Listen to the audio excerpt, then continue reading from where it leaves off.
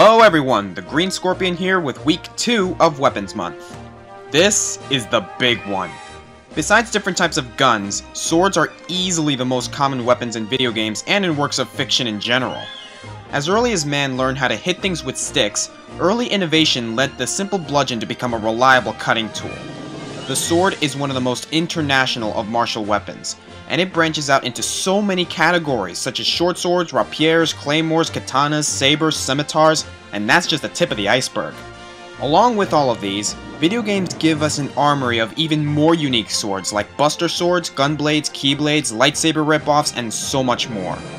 With so many different knights, samurai, ninjas, pirates, and other sword wielders in video games, narrowing it down to just 10 was no small task. For this list, it's more about how the character expresses their own unique traits through their swordsmanship. Get ready, because here, I'll be presenting the top 10 greatest video game sword wielders. Now, keep this in mind. There are a lot of great swordsmen who did not make the cut. So if your favorite didn't make it, leave it in the comments, because we would love to hear them.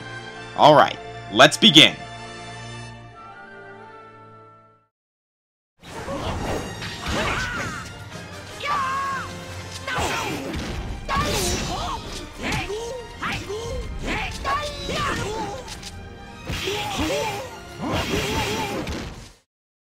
Starting the list off is the fan favorite amphibian known only as Frog. His real name is Glenn, but in Chrono Trigger he finds himself cursed into the shape of a swamp-dwelling Anura. Granted, if put together in a duel, Chrono would probably outmatch Frog. But there is just something about the Green Knight that makes him too lovable to omit. He has a regal devotion to the queen of the medieval era, and being a knight, he symbolizes the nobility of a royal swordsman more than anyone else on the list. His animal shape also gives him a unique fighting style. He hops, flips, and jumps with his weapon. He and Chrono also have one of the most iconic double techs in the game. The sword he wields also grants him some points. The legendary Masamune is a force to be reckoned with, and even has a sentient form that is one of the harder bosses in the game. Even Chrono himself can't wield it. Add some water magic and the ability to summon a giant rainbow toad, Frog is a gentleman that I would trust to fight Lavos with on any day of the week. But what really puts Frog over the edge was this scene, where Frog cuts a mountain in half to open the way to Magus' castle. Holy toads, can he always do that, or is that a one-time thing? Hey, hey Frog, do that to Lavos, if you wouldn't mind.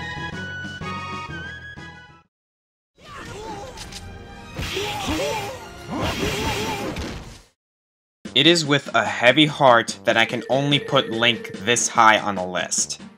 He single-handedly started the sword-stabbing craze for the industry, and he is no slouch, with a style all his own. However, the next 8 are just too good to give Link a bye just because I like him. That said, Link deserves recognition for more than just how long he's been in the evil smiting business. Link's fighting style with his sword and shield is truly unique, even in an industry of constant imitation.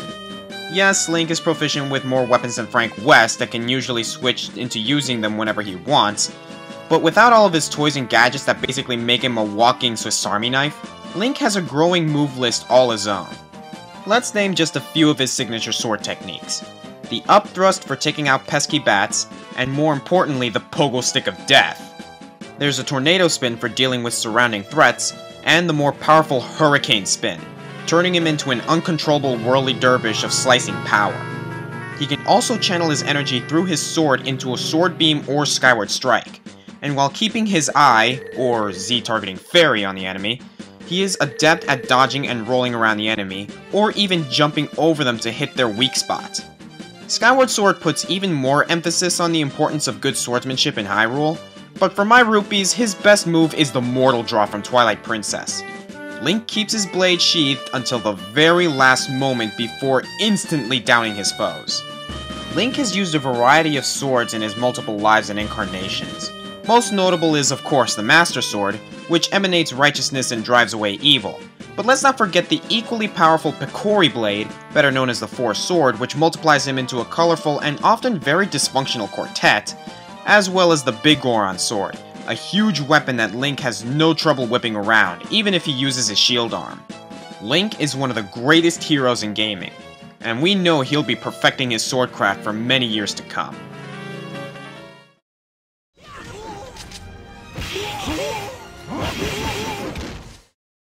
As seen with Margaret Moonlight in the best Scythe Wielders countdown, having two of a given weapon really boosts your chances of making it on the list. That being said, the number 8 spot goes to Lloyd Irving from Tales of Symphonia.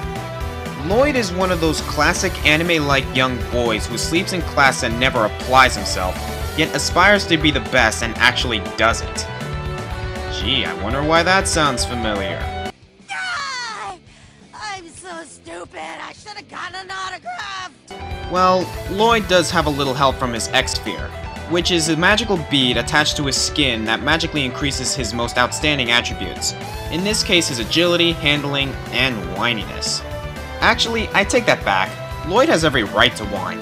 After all, he was orphaned as a child, banished from his village, and has to deal with the fact that Colette, his would-be girlfriend, is going to be leaving this world as part of a ritualistic cycle.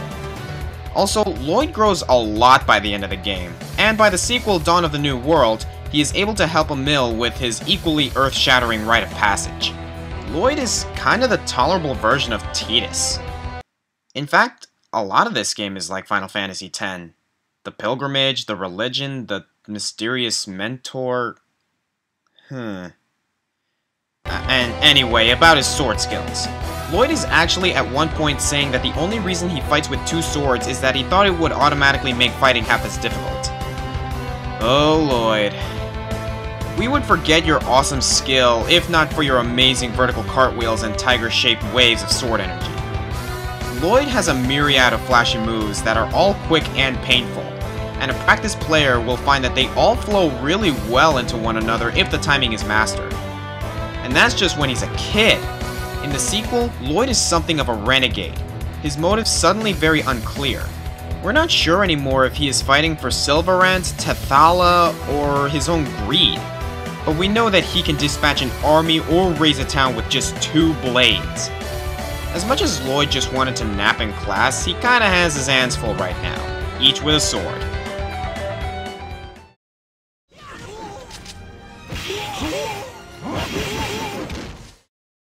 Meta Knight may be small, and he is kind of adorable in his own super serious, I don't have time for your tomfoolery sort of way. And behind that mask, he's actually just as cute as Kirby. But he is the greatest warrior in all of the Kirby universe. And we have proof of this, because when given one wish, he wished to fight the greatest warrior in all of the Kirby universe. And lo and behold, he tore him to shreds. We could talk about how he carries the team in Return to Dreamland, or how his pursuit in Meta Knight's Revenge really shows off his power. But for the real exhibition, look no further than Super Smash Bros. Brawl. Considering that both the Kirby series and the Smash Bros. series are developed by HAL Laboratories, it's clear that HAL really wanted us to know that Meta Knight is amazing. With his orange, sawtooth short sword known as Excalibur, he swipes so fast it makes Link look like a sloth. A lot of quick combo moves like his drill spins and tornado keep his opponents in stitches, and he completely controls the air above the battlefield. Hal tried to nerf him by having all of his specials put him into a free fall, but it doesn't make a difference. He's just too vicious. In fact, he's the only character to be banned in Brawl tournaments. With his speed, ferocity, and demure, this masked warrior takes the number 7 spot on my list.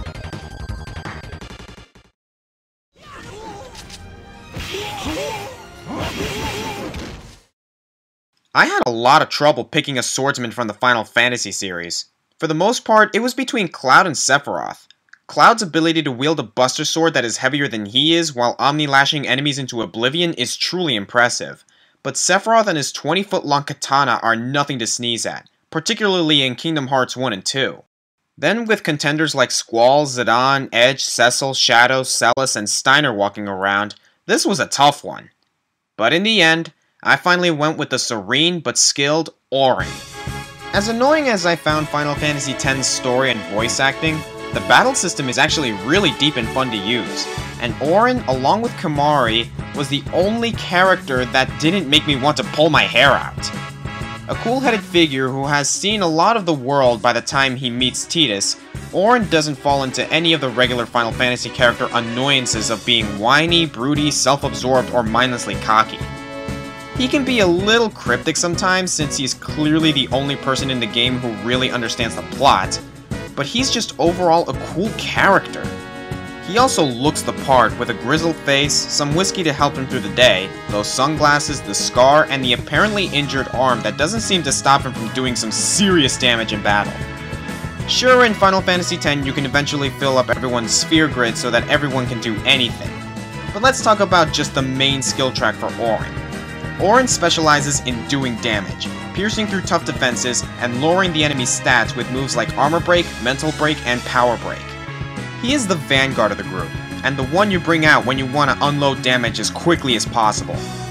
He has no problem handling that Buster Sword and rivals Clouds in human dexterity with it. Auron really became something special for me in the Al Bhed Desert, when I discovered that he could bat sandworms into space despite them being 10 times his size. You may be angry that I didn't pick a different Final Fantasy character, and for that I apologize. But this is my story. Ugh, I can't believe I just said that.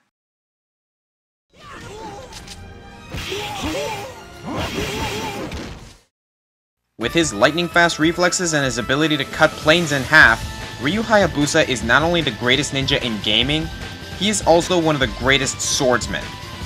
Ryu has a long history of fighting psychopaths, wizards, and other ninjas in his pursuit of justice. He has been in the industry for over two decades, and with the possible exception of the new Ninja Gaiden 3, he has not shown his age. Granted, Ryu can get by without a sword, and in other games he has used a variety of weapons from claws to spears to, well, scythes. And he is no rookie at hand-to-hand -hand combat, as seen in the Dead or Alive franchise. But when the going gets rough, Ryu goes with his trusty katana. With the legendary blade, the Dragon Sword, Ryu throws fire into the mix, while effortlessly liberating arms from their sockets and even when his enemies are packing firearms, Ryu is one to bring a sword to a gunfight, and usually wins. Of course, the Ninja Gaiden games are known for their ruthless difficulty, so it might be taken that Ryu actually isn't that powerful, since it's so easy to die in the games to enemy ninjas or constantly respawning falcons. But here's the thing, Ryu is so amazing a ninja that he is designed to never be hit. It's not he who was untrained, but us. Ninja Gaiden is one of the few games where we lose because we're just not as awesome as the main character. Don't hate on Ryu, it's not his fault we suck.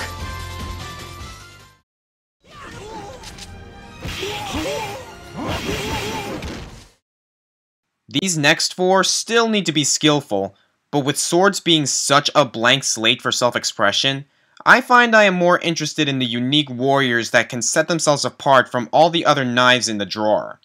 That being said, the number 4 spot goes to the beam katana wielding otaku master, Travis Touchdown. So why should Travis automatically get the spot when there are so many other sword masters in the UAA? There's Death Metal with his compactable Buster Sword, Shinobu who can shoot sonic waves, as well as Mr. Sir Henry himself. Heck, Alice Twilight has 5 beam katanas that she uses simultaneously, presumably to just to outdo General Grievous. But here's the thing, Travis Touchdown beats all of these people, plus astronauts, samurais, and demon children, with nothing but a few swords and some lucha libre grabs. Travis is the ultimate underdog. The beam katanas don't even immediately sever limbs like lightsabers unless Travis puts a lot of force behind them, in which case his opponents explode into blood and coins. Travis doesn't have a lot going for him, but he makes it work and defeats all of these incredibly well-trained assassins. We also get to see Travis use a number of different sword styles, including a regular lightsaber shape, a huge longsword, a Japanese katana, and his deadly twin swords. Travis is the bare minimum, but he's one of the best.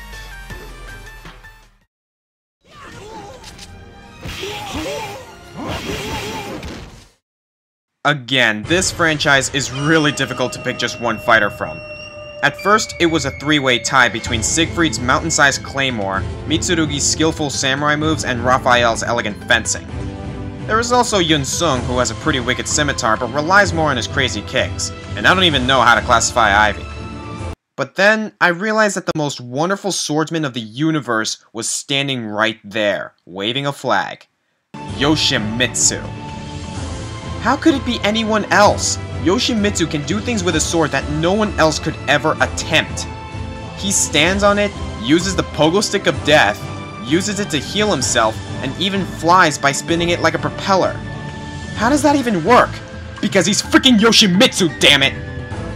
Yoshimitsu also keeps a second sword concealed up his sleeve just in case, and even that silly flag on his back, though not his primary source of damage, is used as one of the more unexpected ways to deal damage and look gleefully ridiculous while dominating the battlefield. Despite his playfulness, Yoshimitsu preaches honor in being a warrior, and when given the chance to slay the almighty Algol, Yoshimitsu instead tells him to seek recompense and then flies away like a helicopter. Man, I love this guy! There is also his successor from the Tekken series, also called Yoshimitsu, but I've always preferred Soul Calibur's Yoshimitsu because of how unique he is. With style, discipline, skill, and a lot of fun, Yoshimitsu flies into the number 3 spot.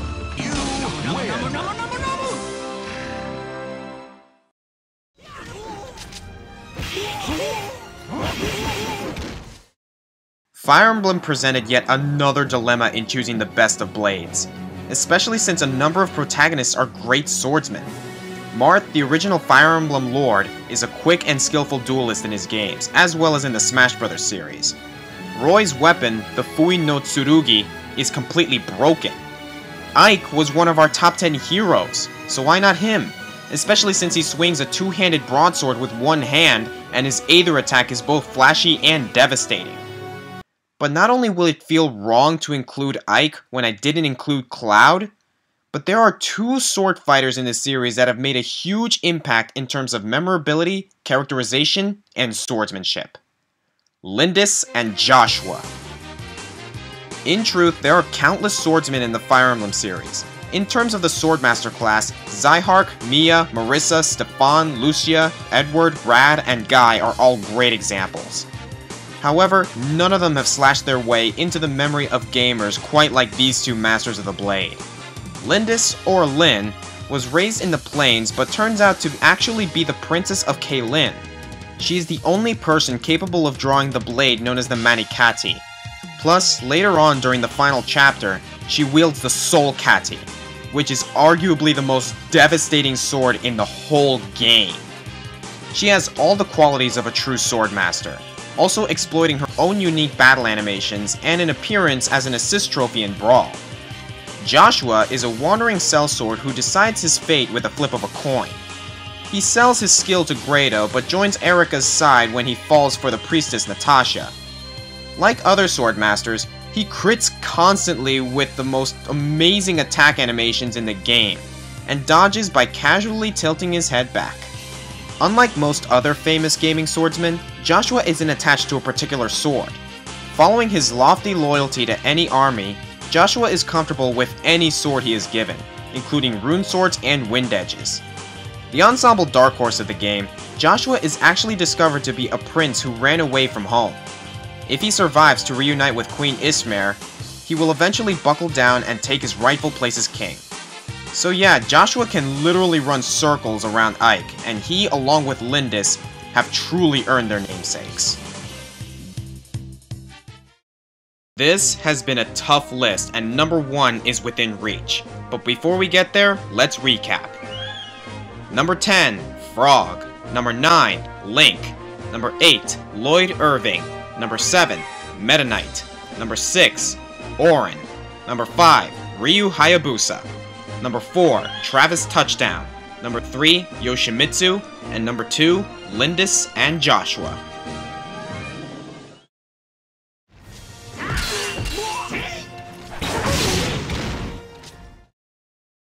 Remember how the Wii came out and a little game called Red Steel claimed to have one-on-one -on -one sword swinging action?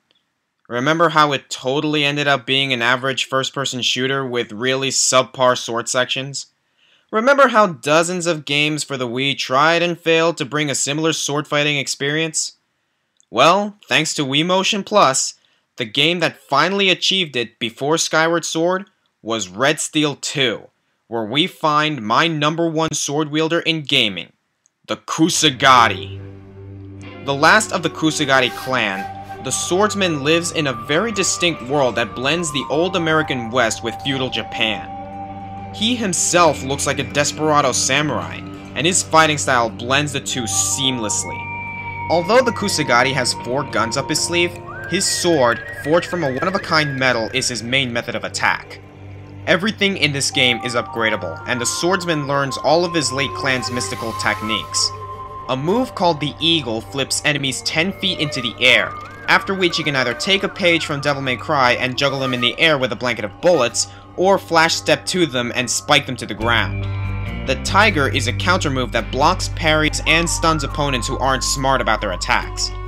A whirlwind move a la Legend of Zelda hits multiple enemies around him, and the bear pounds the ground with his sword, sending out shockwaves and leaving nearby foes prone to quick dash and stab or a sidestep and trip.